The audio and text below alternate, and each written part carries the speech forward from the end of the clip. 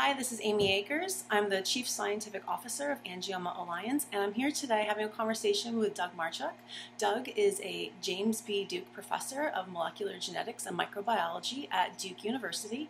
He's also Director of the Division of Human Genetics there and one of the founding members of the Angioma Alliance Scientific Advisory Board. And near and dear to my heart, he was also my PhD thesis advisor while I was at Duke um, for as a grad student.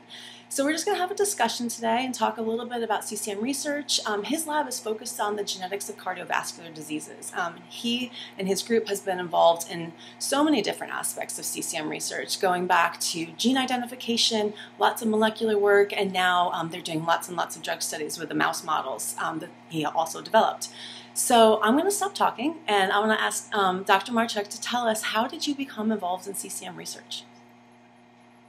Yeah, you know, I heard about CCM from a number of colleagues, and then I became friends with Eric Johnson and Leslie Morrison, who's a pediatric neurologist in, in New Mexico, who you know very well. And these people told me all about the disease and the families they had collected. So we started our genetic studies with um, Leslie's uh, families that she had collected and Eric's families. Uh, so Eric's families, I think, came mostly from the Phoenix, Arizona area and Leslie's obviously came from Albuquerque, New Mexico. I think actually all all throughout New Mexico. So, talking about disease and then get, having some good colleagues and friends, people who became friends. That's how I got started. Cool. That's great. That's great. So t- let's talk a little bit more about um, families. So CCM families, you know, oftentimes, multi- obviously, CCM comes in two different flavors: sporadic and familial. And the familial, when we have multiple lesions and or multiple family members affected in different generations, folks often go for genetic testing. If they come back negative for genetic testing, what, what does that tell you? What, what do you, can you talk about that a little bit? How, why, how someone could still have familial CCM but come up negative on genetic testing? Yeah, one of the big issues is, is the diagnostic laboratories are very conservative. They are very hesitant to call something a mutation that they're pretty sure is a mutation, but they don't have rock solid evidence. And there's a series of rules that you would go by by seeing, you know, reading a sequence of a gene and and sort of claiming that that change that you found is a mutation. So often they have an idea that they found something, but they're not able to report it because of these rules. And, and in fairness, they, they should not. So that's the first thing is, is I think there's a, there's a fair number of families who probably you know have one of those mutations, but but it doesn't meet certain criteria to bona fide call mutation. They're probably what are they, 80% sure, 70%, 90%, whatever whatever it would be, and I don't know the, the actual numbers there in every case, but they're not able to call it. I think the other thing is, is we as scientists don't understand all the rules of how a DNA change can influence a gene and sort of in this case break the gene, if you will.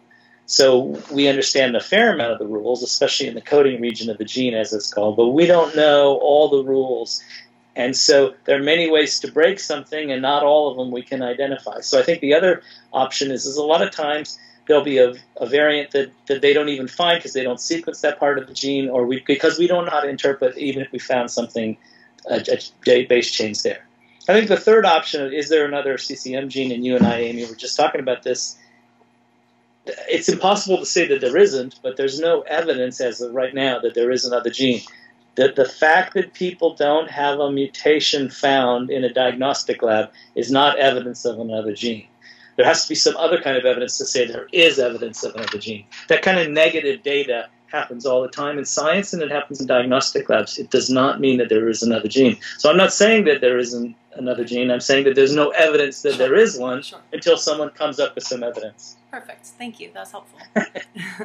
um, so tell us about mice. I know you've got lots and lots of mice on lots of different treatment regimens right now. Um, can you just in broad brushstrokes, can you tell us about what you guys have going on mouse-wise? Yeah, we have so many mice. Um, I think we have like, uh, I think we're, I think we're pushing four or five hundred cages, and each cage would be, you know, have a, a different number depending on whether they were breeding or this or that. Um, in broad brushstrokes, some of our mouse studies are involved in trying to understand what's going on as the um, molecular events that are going on during the lesion, during the cerebral cavernous malformation, the malformation itself, what's going on. What kinds of molecular and cellular events are going on to create that mulberry appearance or that lesion. And so those are very, you know, mechanistic studies. They're very detailed. They're important in the long run, but they don't necessarily immediately have a, a clinical uh, or therapeutic context right away.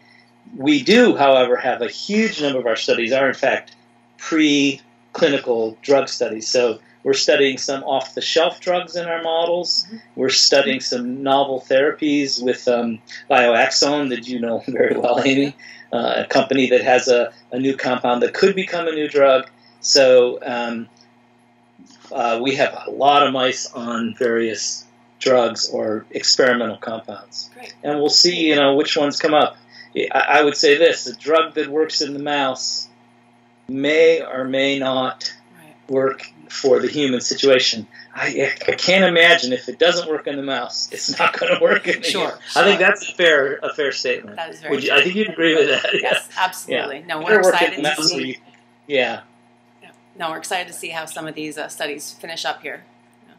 Um, yeah, and we'll be talking about some of them um, in the Angioma Alliance uh, um, Scientific Research Conference later this month. Yeah. Gosh, it's already October. Yeah. perfect. Perfect. Thank you. Um, and just last question. You know, the patient community is obviously very, very eager for clinical trials. That's the next great thing for, from the clinical side of things. What about basic research? What are your biggest unanswered questions? Where's that black hole still remaining for CCM research? Well, one really big black hole is that there's been so much good study uh, and good research going on, good studies by really good groups coming from different approaches and different angles. And essentially, they've nominated all sorts of ideas for the ultimate pathogenesis. The ultimate thing wrong is, and then they'll say, oh, it's Rho kinase signaling, or this, or that, or reactive oxygen species, you, you know. And then we have all these ideas. And in some cases, we have even some evidence that maybe in some kind of experimental setting, that altering that pathway may have some benefit. But what we don't know is how that all fits together. Sort of, we have a, you know, this rich list of, you know, catalog of ideas, and, and they're not put together yet. And I think that's one of the big questions. Is there one central pathogenesis idea that could we would, you know, say we should hit that? And as we were talking about earlier, the key here, though, is that even if we don't find that right away, we have so many good leads for compounds that we can study them. Like you can think of them as maybe there's ultimately way up at top something wrong, and it trickles down and it, it branches out into different ways of, of, of causing problems with the blood vessels. But we can attack at those levels and try to fix that, even if we don't understand the big picture at the front end. So, but I think that fitting it all together, fitting that's, all together. that's the million dollar question. Perfect. Well, thank you very much. I appreciate your time and look forward to sharing this with the Angioma Alliance patient community. Okay. Thank you and have a good day. Bye-bye. Bye.